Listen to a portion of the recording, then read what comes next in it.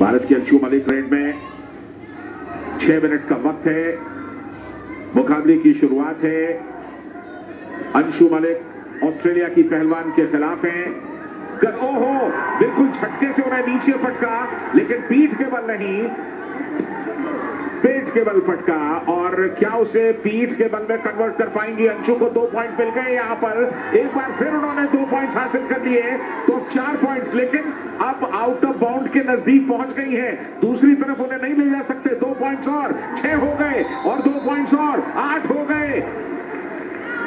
अब बीच में जाना होगा। अब संजय देखना यह ये है कि क्या एक मिनट तक ये मुकाबला चल पाएगा? बिल्कुल बहुत ही मुश्किल। और ये देखिए किस तरह से लेग दोनों ने एक दूसरे का पकड़ा हुआ है ऑस्ट्रेलिया की पहलवान। अंशु को रोकने की पूरी कोशिश कर रही है, लेकिन अंशु, आप जानते हैं, भारत की अंशु काफ़ी बेहतरीन प्रदर्शन उन्होंने किया है और उसके साथ ही एक बार फिर इशारा कि आप बीच में आए। भारत की अंशु मलिक। दो पॉइंट्स और ले गई और इसके साथ ही ये मुकाबला टेक्निकल सुपीरियरिटी पर जीत लिया। सिमरनिटीज जो कि ऑस्ट्रेलिया की है, कोई खास चुनौती उनके सामने नहीं रख सकी।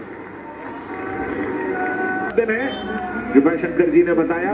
कृपा शंकर जी का भी आज जन्मदिन है। वो अपने जन्मदिन पे पहला मुकाबला बहुत ही शानदार तरीके से जीता अंशु मलिक ने।